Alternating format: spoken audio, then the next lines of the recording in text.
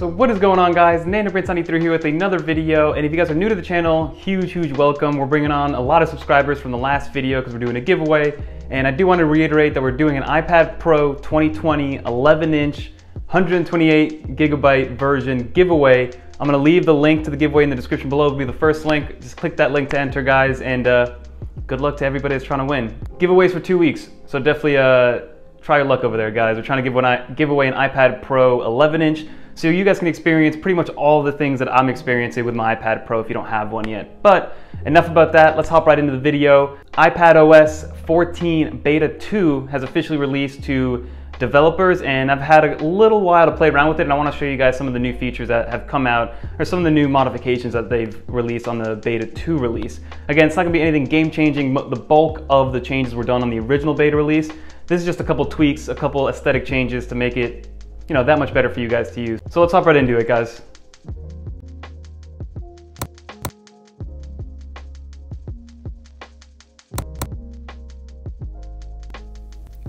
Alright guys, so the first thing that I always like to touch on is the actual size of the file uh, for the beta 2 software update. I'm to put an overlay on the screen right now, but it was about 700 megabytes, so I always recommend doubling that in terms of how much storage you have left on your device in to actually update it. So if it's about 700 megabytes, I would recommend 1.4 to 1.5 gigs of available storage to be able to update it. And then the next thing I do like to touch on is the actual build number. So you guys can see that I'm in the About section, the software version 14.0. If you click on that again, usually the little letter at the end is what dignifies or tells you what version you're on, so what beta number you're on, and it starts off with a higher letter in the alphabet. So the first beta version was V. Now we're down to I, and then eventually we'll get like C, B, A, and then the GM, which is the, I think it's Gold Master or Grandmaster Edition, pretty much the finalized version before it goes out to everybody in the public. And then the last, you know, PSA that I have for you guys that for some reason, and I've noticed this with a couple people who've tried to update this to iPad OS 14 Beta 2, if there's any audio playing in, in the iPad itself, it will not update for some reason. So if you're listening to any iTunes music, YouTube music, Spotify, if you have headphones on, if it's coming out of the speakers, make sure that's all turned off when you're updating to the new beta because for some reason it's been giving people a lot of issues when audio is playing, which, you know, it's something that you wouldn't really think about, but it, but it is an issue. All right, guys, so the first aesthetic change, the first visual thing that you'll notice is the actual calendar widget has changed a little bit. I'll show you guys what it looked like before, but this is what the new calendar widget looks like, or the new calendar application icon looks like, not the widget, guys, but that's what you're dealing with when it comes to the calendar widget. Another much needed update to the actual widget section was the reminders application. So before when you had the reminders widget open on the left hand side of your widget screen, both on iOS and iPadOS, it gave you the amount of reminders you had left for the day, but it didn't tell you what the reminder was. So you guys can see here, my reminders get this video out to you guys by the end of the day today, and that's what we're working on, and that's now showing on the reminders widget. Another cool one, if you guys noticed, is that now Files has a cool new widget. So if you go into the actual edit menu to go edit your widgets, and you go add a new one, you can see that now the Files app has one, and there's different modes, and each one of these little bo boxes represents a file that you've recently opened. So I like to keep it at the smaller one, give you four different files to choose from,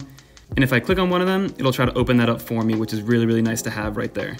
And then two smaller tweaks, guys. I am not an Apple Music uh, user, but if you are, if you go into the music settings, there will be an option that will allow you to disable album art downloads and then also only enable it through Wi-Fi only. And the reason they put that in there is because obviously album art, when you're out and about, it takes data and not everybody has unlimited data. They wanted to save the end user from having to pay extra if they are on a limited plan. So that's a nice little touch. And then the very last thing that I noticed, guys, is actually down here in the actual clock. The hands on the clock are just a tad bit thicker.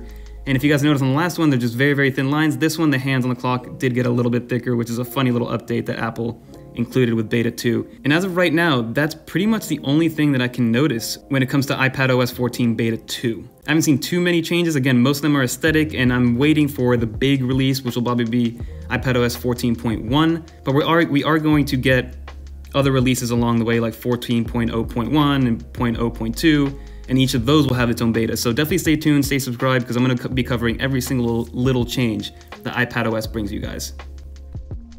So just to reiterate what I was saying before, there weren't too many changes for this beta 2. We're probably not going to see any major changes until the 14.1 beta release comes out, which is you know, probably two, three, four weeks from where we're at right now because it's still pretty early on. But the public beta version should be releasing soon. So if you guys want to dabble in it with any of the iPads that you do have, feel free to install the public beta developer program. That's what I did last year. And then this year, I'm on the regular developer program. So highly recommend trying the beta program out. I had a ton of fun with it last year on iPadOS 13 or the first version of iPadOS, and uh, I don't regret installing the beta whatsoever, guys. But that's gonna do it for this video. Hopefully you guys learned something new and maybe added some tweaks to iPadOS 14. Uh, leave a comment below if you guys are using the beta software, if you're still on iPadOS 13. And also, like I said, don't forget to enter the giveaway. Really wanna get back to you guys because we hit 10,000 subs over the weekend and the channel is just continuing to grow. So that's gonna do it for this video. Don't forget to like, comment, subscribe, and until next time, peace.